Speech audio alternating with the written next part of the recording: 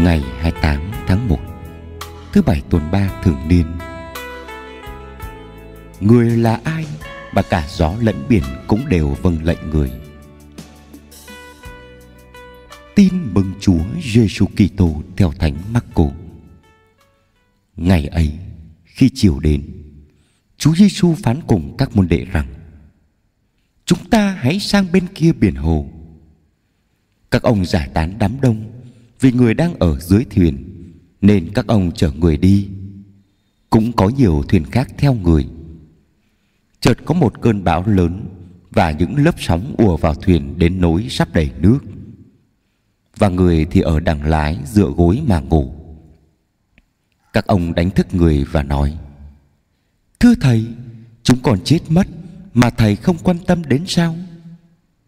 Trỗi dậy Người đe gió và phán với biển rằng, Hãy im đi, Hãy lặng đi. Tức thì gió ngừng biển lặng như tờ. Rồi người nói với các ông, Sao các con sợ hãi thế? Các con không có đức tin ư? Bấy giờ các ông kinh hãi Và nói với nhau rằng, Người là ai mà cả gió lẫn biển cũng đều vâng lệnh người? Đó là lời chúa.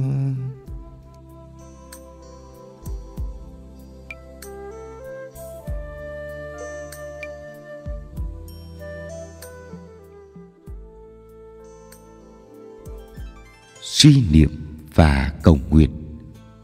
Người vẫn thức bên ta âm thầm. Người là ai mà cả gió lẫn biển cũng đều vâng lệnh người? Có bài hát sinh hoạt thiếu nhi rằng, đừng tưởng lầm chú không quan tâm. Người vẫn thức bên ta âm thầm. Dù cuộc đời sóng xô cao dâng, hãy vững tin sóng lặng biển yên. Một huynh trường kể, hồi ấy còn là thiếu nhi, em hát bài này say sưa, nhưng cũng chưa hiểu hết gì. Đến nay, em đã là huynh trưởng đã có gia đình và hai con, mới thực sự thấm thía. Đời vợ chồng mà, có phải lúc nào cũng yên ắng đâu? Có lần vợ chồng em lời qua tiếng lại vì một chút hiểu lầm. Anh xã em làm âm ầm lên như sóng dội em buồn lòng không nói nổi nữa. Bỗng bài hát lại ùa về. Em ấm con ra võng hát ru đừng tưởng lầm, Chúa không quan tâm. Người vẫn thức bên ta âm thầm. Và em tin sẽ yên. Anh xã em đi nằm. Sáng mai lúc đi làm, anh xã hỏi, hồi tối em hát ru con bài gì vậy? Hành trình trần gian của mỗi người, mỗi nhà, của cộng đoàn và của cả giáo hội là hành trình trên biển đầy phong ba báo táp ai chưa qua chưa phải là người. Nhưng làm sao có thể vượt qua được những cơn sóng dữ nếu không có chúa uy quyền và xót thương cứu giúp? Bởi vậy, việc quan trọng là chúng ta có kêu cứu chúa không? Hay tự sức mình ra tay chèo chống? Chúa biết sức chúng ta yếu hèn và chúa muốn chúng ta kêu cứu người. Dẫu có lời kêu cứu có ý trách cứ người, thì người vẫn vui lòng như phêrô vừa kêu, vừa trách. Thưa thầy, chúng con chết mất mà thầy không quan tâm đến sao? Vâng chúa không đi vắng, cũng không ngủ mê. Chúa vẫn âm thầm chờ các gia đình kêu cứu. Không nơi nào khác có thể cứu. Duy chỉ nơi chúa chúng ta mới được bình an. Lạy chúa xin cứu các gia đình thoát khỏi những cơn sóng dữ tục hòa, hưởng thụ vô cảm, vô thần và lạc giáo amen.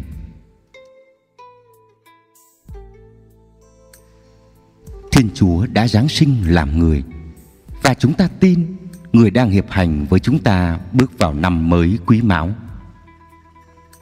Vâng lời người vẫn còn đó, vẫn hiện diện vẫn linh động những nhịp bước trẻ trung, yêu đời, yêu người.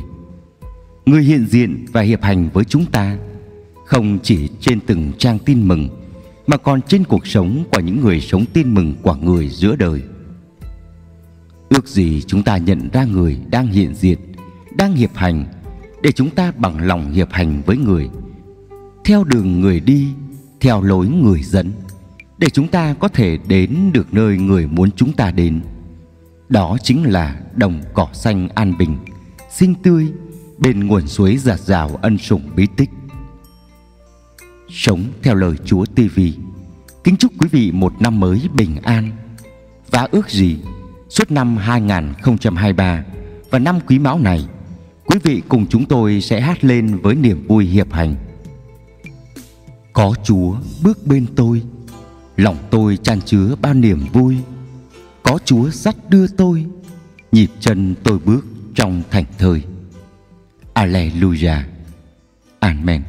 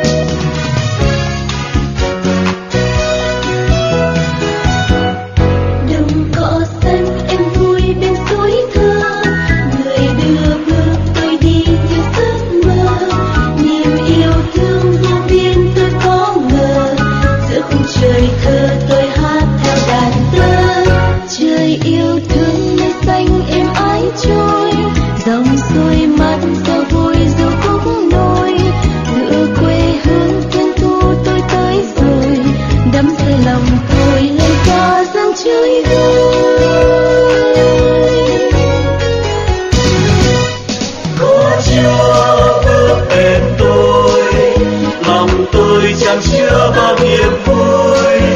Có chưa dẫn đưa tôi, nhịp chân tôi bước trong thánh thời.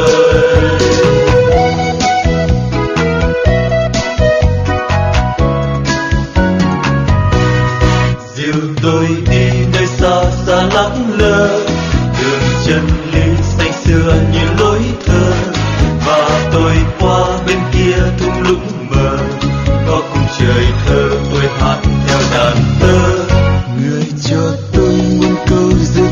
tha. Làm tôi sẽ dâng lên nguồn khúc ca. Tình yêu thương thiên thu không xóa nhòa. Đắm say lòng tôi lại qua vang ngân